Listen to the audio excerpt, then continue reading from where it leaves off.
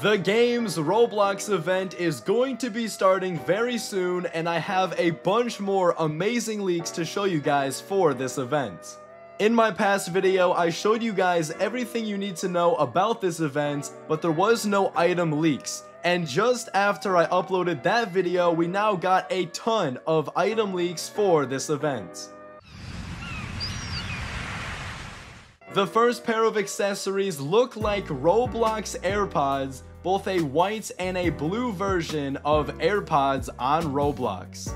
The second pair of items are these glasses and headband combo. I'm not sure what you'd call this, but it basically looks like some athletic shades and a headband for your avatar.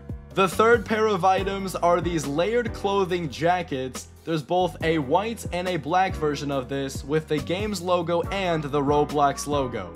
The fourth pair of accessories are these pants that seem to match the jacket. There's also a black and a white version of this one, and it seems to be that these are all athletic themed items.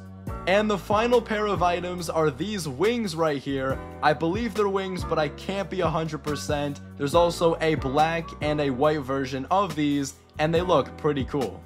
The reason I show these pairs of items first is because if you remember back to the Classic and the Hunt, they both had these Battle Pass type tracks where there was a free and a paid track that you could complete to get the different accessories. And most likely that's exactly what we're going to see this time around for the games.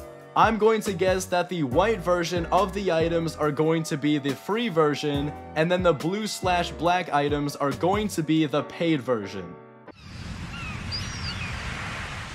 Those five items are the teapot, the surfboard, the bag, this Valkyrie looking item, and then these arm sleeve items. Now, these items could technically be for a lot of different things, but based off of previous events, I would predict that most likely these items are going to be paid items that come out for 24 hours and then go off sale.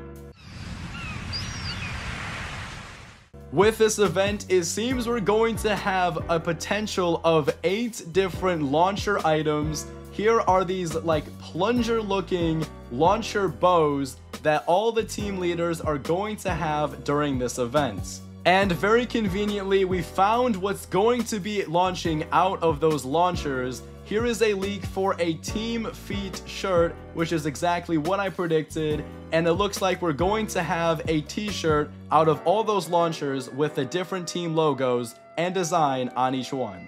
During the Games events, I plan to do a 24-7 live stream where I get a bunch of developers, star creators, and admins, and possibly even team leaders to help give out all the launcher items to all you guys that follow me.